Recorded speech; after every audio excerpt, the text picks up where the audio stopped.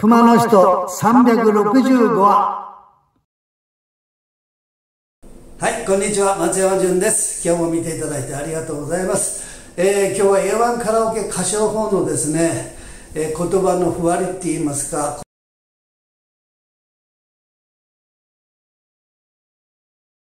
えー、雪の花って。私がよく審査員をしてた時昔これ大月みやこさんの歌だったと思うんですけど雪の花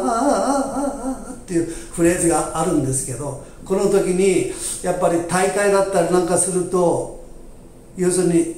力が別なところにかかったりして歌い方が変わってしまうのがあったんですよね。雪の花って言って木にアクセントがいったら湯が聞こえなくなって木だけが目立って木の花になって聞こえてしまう。あるいは雪のののだんだん強くした方が歌いやすいもんだから「雪の花」って言ったら野花になってしまうんですよ。だから本当にですねこれは雪の花なんでもう降る雪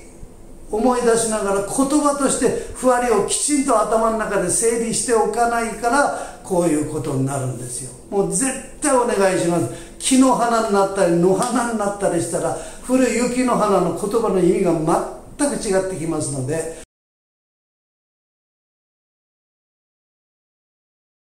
あとは僕がですねこれまたちょっと違うんですけど月刊誌の、えー、私が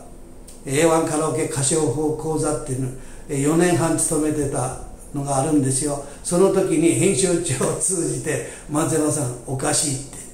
て。洋楽やっておられる方からあ命くれないを取り上げた時になんで弱白のとこから強く出るんだっておかしいやろ質問を受けました。まあ洋楽で強く弱くやや強く弱白ってこうなるじゃないですか。おっとそうすると小説のちょうど終わりは弱白なの弱いんですよ。その弱いところに、えー、紅の紅が来るんですよ。紅の糸。だから紅のの紅が前の小説のに引っかかっててそこが米なんですよ。2が小説の頭なんでその言われる方は2にアクセントが来ないとおかしいだろうっていうことが質問を受けたんです。そしたらその方がおっしゃる通りにやったら「紅の糸」先ほど言った通り別な意味になります。二の糸になってしまうんですよ。あくまでもどの場所であっても日本語っていうのは言葉の頭がきちんとして伝える意味においてもそこが弱いと本当に変なことになってしまうので言葉のもうどんな弱白であろうが何であろうが紅のの紅十分。で紅の糸って